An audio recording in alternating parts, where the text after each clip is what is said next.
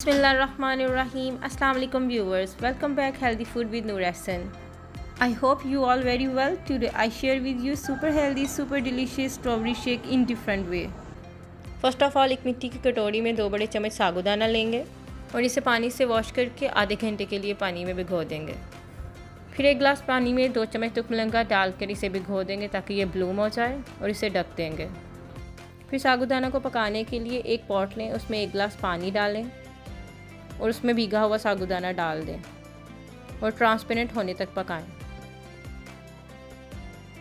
चार से पाँच मिनट पकने के बाद ये ट्रांसपेरेंट हो जाएगा, इसे आप चेक कर लें।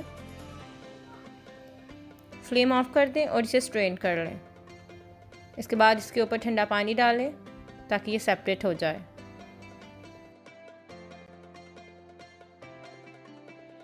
एक ब्लेंडर लें, उसमें एक गिलास दूध डालें।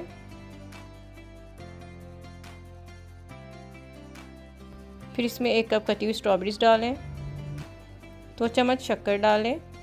आप अपने टेस्ट के अकॉर्डिंग शक्कर कम या ज़्यादा कर सकते हैं। स्मूथ ड्रिंक बनने तक इसे अच्छे से ब्लेंड कर लें। फिर ग्लासेस में दो चम्मच सागुदाना डालें और दो चम्मच तुखमलंगा डालें। अब हम इसमें स्ट्रॉबेरी शेक ऐड कर देंगे।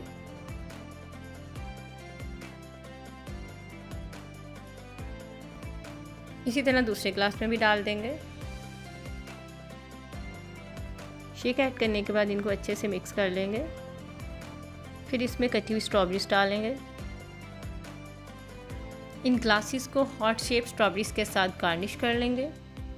So here delicious drink is ready you must try this amazing drink and share your feedback thanks for watching see you next time another recipe अल्लाह हाफिज़